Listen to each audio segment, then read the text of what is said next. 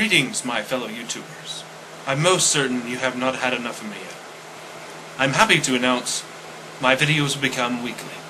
That's right. Every Monday you'll have the mental mind of me. And every Saturday we'll have the strange happenings. And of course, random videos between now and then. Thank you.